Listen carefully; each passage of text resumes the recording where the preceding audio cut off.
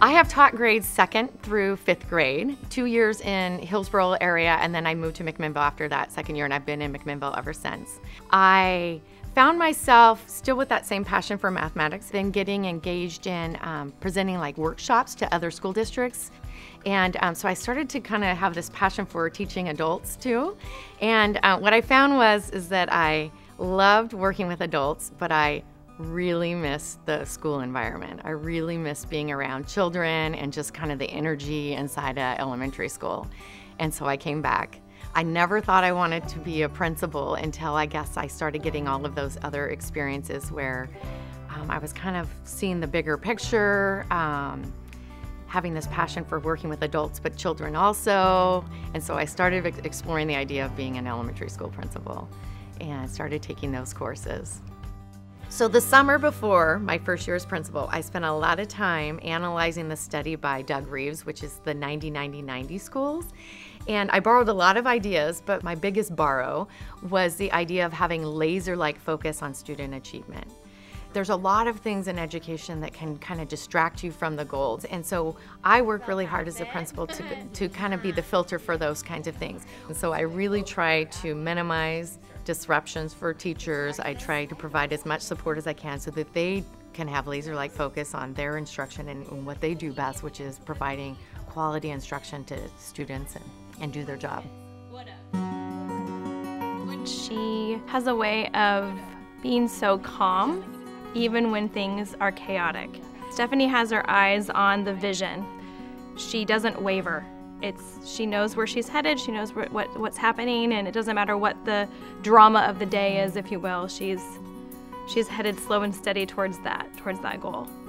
One of the things that we've worked really hard at Buell um, is to develop partnerships with the community. And one of our strongest partnerships is with Linfield College, which happens to be right in our backyard. And so when you're at Sue Elementary School, you'll see Linfield students here every single day, and several of them. We work really closely with some volunteers from Cooperative Ministries that work with us and help us with things like school supplies, um, coats in the winter. They knit hats and gloves and scarves for students for us. Another partnership that we have is with Lutheran Family Services to help provide families and students with outside counseling needs that they might um, have. And so we know them by name, they know us by name, we make referrals to them. Sometimes they'll even come to the school and meet with families and children, and so we work very closely with them as well.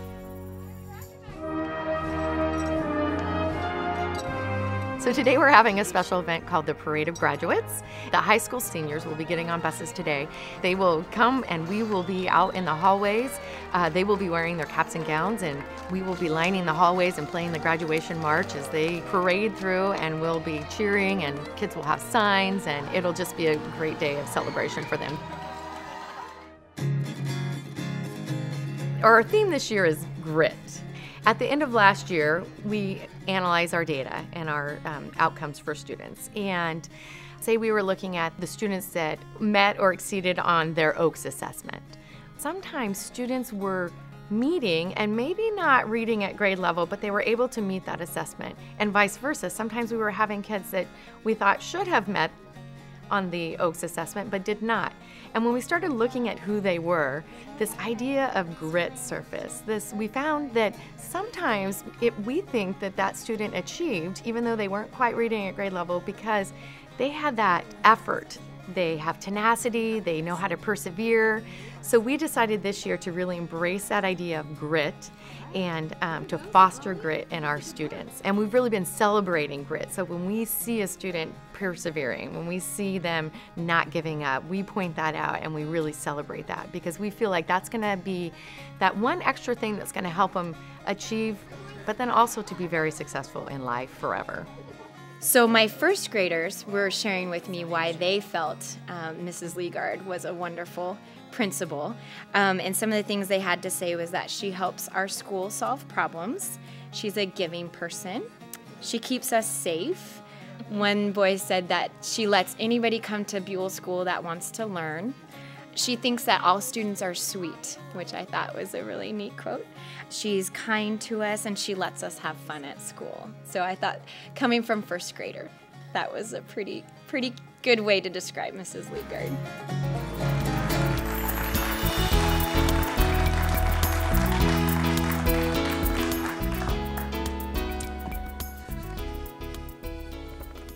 I brought note cards just in case, but I think I've got lots of good things I want to say, and I, I just want to make sure I don't leave anybody out. So, Oh, somebody told me, actually right down there, that it was going to be hard to come up here and speak after watching the video about myself and my school for the first time, and that person was right. This is tough.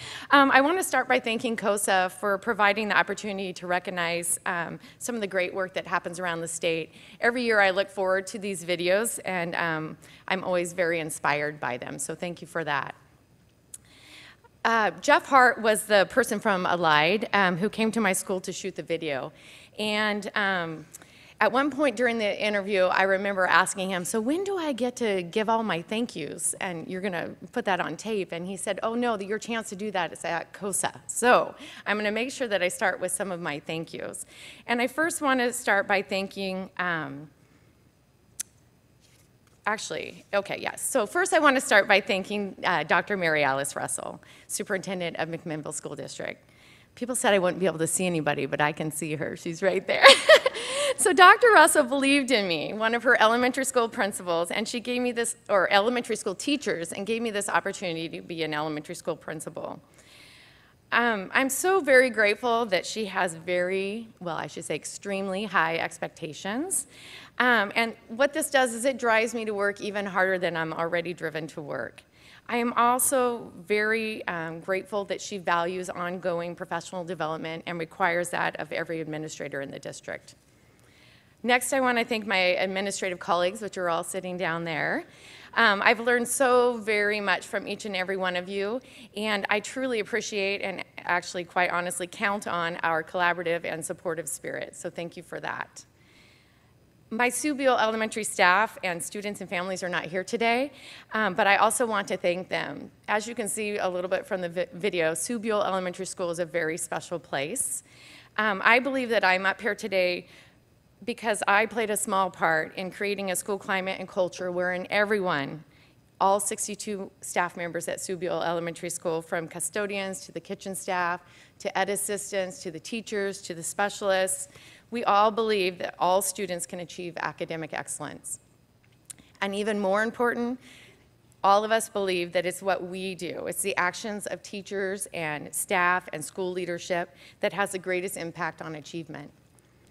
While it's easy sometimes to blame student engagement and achievement on variables such as lack of parent support or um, poor nutrition or home language, and although these variables can certainly play a part in, and have an impact on learning, at Buell, we believe that we have an even greater impact. And how did we get to this collective efficacy? Well, the whole journey would take me a while, and I know I don't have a while. So, but in summary, first we started by having the conversation, and that sounds really simple, but that's actually not so simple. So we started with the conversation. Then we looked at the research. And then we looked at data from other schools that are like ours. Um, quickly, the demographics, some of the demographics of Sue Buell, we have 85% free and reduced lunch, 52% uh, are Hispanic, about 42% are English learners. So we looked at schools like us that were making it happen. And then we started engaging in the data team process, and it's through this process that it truly became evident that student outcomes are a direct result of teacher practice. So this collective belief combined with our laser-like focus on standards and research-based instructional strategies, empowers my staff to ensure that all students achieve at very high levels. And as you saw in the video, it takes a lot of grit, tenacity, perseverance, ability to never give up to operate like this. Because if something we try isn't successful, it's going to take something else that we're going to try to be successful. So you just have to keep on trying and find the right thing to meet the needs of the student. So we call ourselves gritty at Sue Buell Elementary School, and we're teaching, as you saw, our students to be the same. So I want to conclude by um, introducing and thanking my family for being here today, for their love and support. They're all down there. I think you should all wave. There they are. Thank you for being here. Um, down there, I'm going to point out a couple of them. One is my husband and very best friend, Jay, and my two sweet, kind, bright, brilliant, beautiful daughters, Rachel and Allie. Um, there's one, oh, yeah, sure. there's one character trait that we all share, which uh, is a good one, I think, but it's that we never like to miss out on anything fun. Which, as you can imagine, with all of us never wanting to miss out on anything fun, we're incredibly busy people.